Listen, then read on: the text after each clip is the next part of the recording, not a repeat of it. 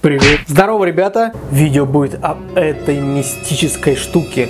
Короче, вещь, блин, прикольная получилась. И в некоторых моментах в работе и в дальнейших каких-то крутых самоделках она понадобится, безусловно. И, кстати, не забывайте, в описании есть куча полезных ссылок на полезные товары Салика, а также ссылки на мой инстаграм и группу ВКонтакте. Кстати, группу ВКонтакте ведет мой младший братишка, и он прям старается. Настало время посмотреть. И вот спустя сутки мы снова с вами находимся в этой баночке. А в дальнейшем сейчас мы будем собирать корпус для нашего компрессора, так как он же все-таки компрессор, он может качать еще и в обратную сторону, то есть накачивать, э, не только создавая э, разряженное давление, или как это сказать, отрицательное давление, да, создавать, но и э, избыточное. Вот так вот. Поэтому сейчас мы все сделаем. Замечательный небольшой корпус. Как небольшой мобильный компрессор для вот таких вот вещей, я думаю, вполне сойдет. Кстати, корпусом для нашего маленького компрессора послужит вот такая вот распаечная коробка IP55. Осталось после ремонта. Как корпус ее использовать вообще замечательно. Компрессор стоит сюда вообще очень хорошо и даже остается место. Подключать пока временно, даже когда уже соберем наш ящик, я буду, опять же, через зарядник аккумулятора, крокодильчиком. Я сделал выводы такие, плюс-минус. А дальше мы уже разберемся. Просто на данный момент у меня нет к нему блока питания, к сожалению. Я думаю, что если его можно использовать будет и в мастерской, и якобы как бы в машину, но машину он все равно слабоват. Я купил более мощный, и он гораздо лучше качает, чем этот в любом случае. Итак, э, сейчас нам нужно подготовить отверстие в нашей коробушке, высверлить, соответственно, впускное отверстие, просто оставить небольшое отверстие для воздуха, для подачи. Также сделать отверстие большое под тонометр. Вот. И ну, пока все. А дальше уже можно будет разобраться со шлангом, сделать вывод небольшой из него.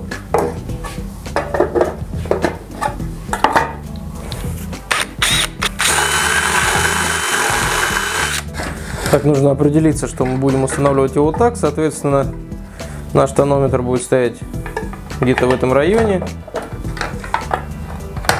Примерно где-то здесь. Нам нужно сейчас его обвести и вырезать отверстие чуть меньше на данный момент, чем сам тонометр.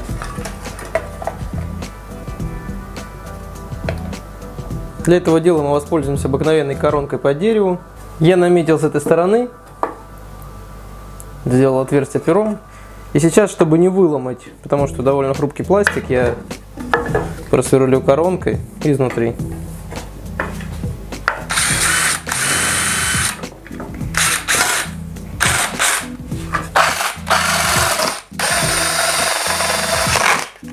Упс. Главное, ничего не поломало. Слава богу.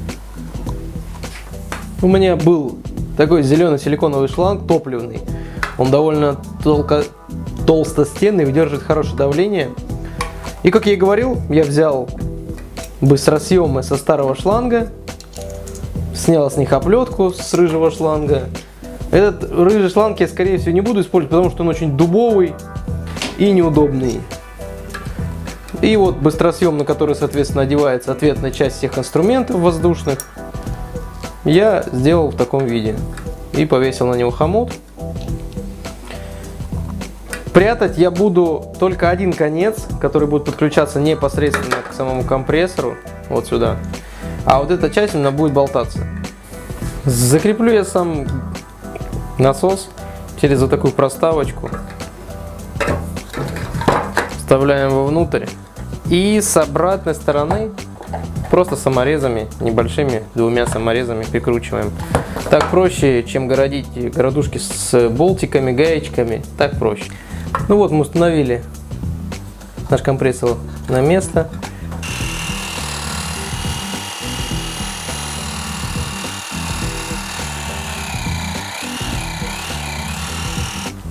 Он громковат, конечно, но посмотрим, как после крышки это будет выглядеть.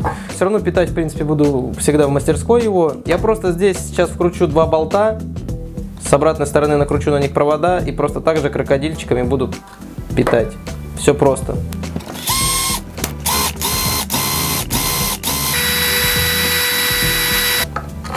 Обыкновенные болтики через шайбочку и закручиваем. Закручивать сильно не имеет смысла, так как они это мы убрали. Сейчас попробуем запитать.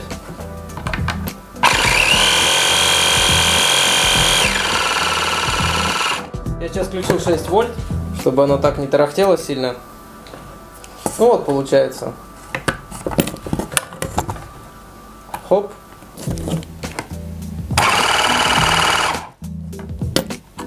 Считай как на аккумуляторе.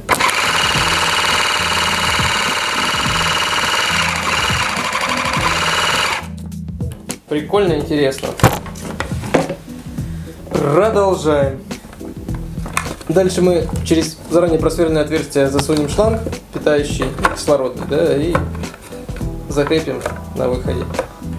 Сейчас мы попробуем самый простой этот инструмент. Это дрель пневматическую запитать. Будет ли она работать? Хотя бы от 6 вольт изначально.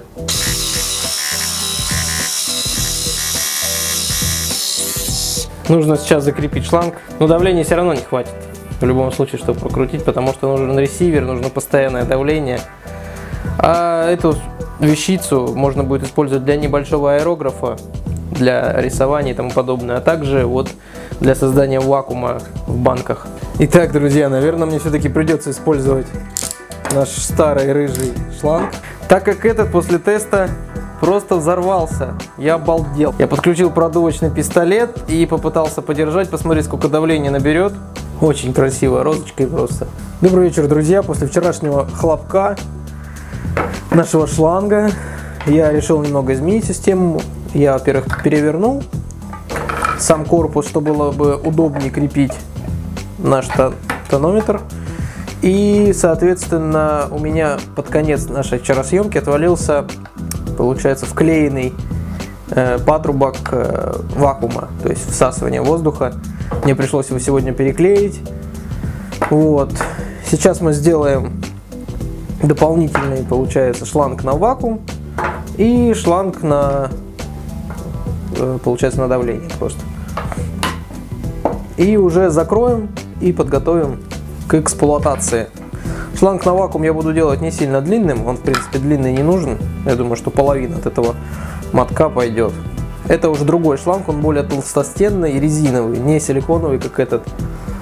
Мы, возможно, используем его полностью. Один на давление, другой на вакуум. Теперь мы подключаем шланг, это шланг на давление, это на обратное давление, соответственно, на вакуум. Теперь мы закроем крышкой.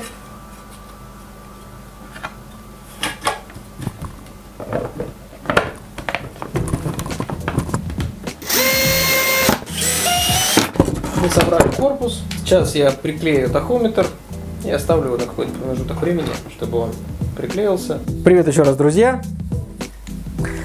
Мы доделали все-таки наш мобильный компрессор из раздолбанного старого компрессора и также по факту вакуумный насос. Напомню, это у нас вакуум, это давление. И сейчас, я думаю, стоит попробовать сделать то и другое.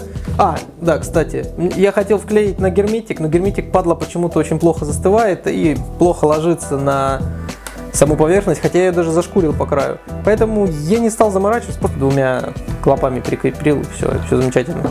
Все равно его вскрывать, если только что-нибудь выскочит оттуда. Итак,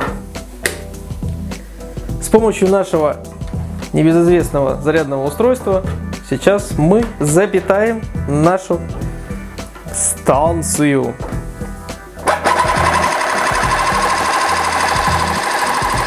Напомню, что я начну с 6 вольт. Попробуем так.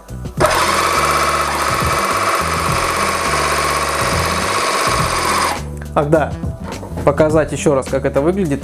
Клеммы я сделал из болтов. С той стороны накрутил, соответственно, ну, вы видели. Поэтому сейчас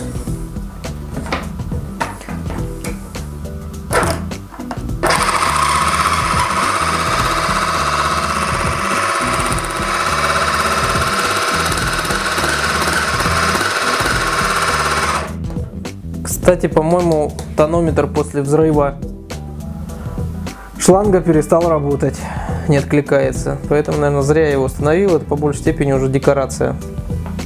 Ладно. Попробуем 6 вольт надуть самый простой. Это вот перчатка, плотная перчатка. Попробуем то же самое на 12 вольт.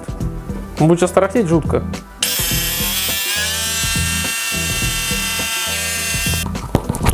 Прям достойно. Он работает стабильно, спокойно. Трактит, конечно, громко, ну тут ничего не сделаешь. Показать, как работает вакуум, я даже не знаю как.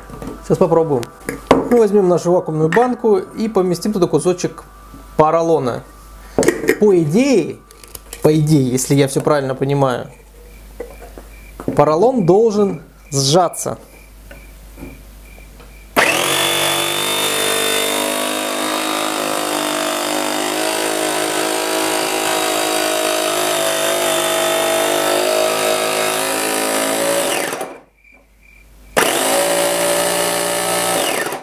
Но что-то этого не происходит. Ну, а, нет, тем не менее, звуки были. Обязательно посмотрите два старых видоса. Поставьте лайк каждому и всем подписывайтесь, подписывайтесь обязательно на канал. Да, подпишитесь еще на инстаграм, обязательно. И пока.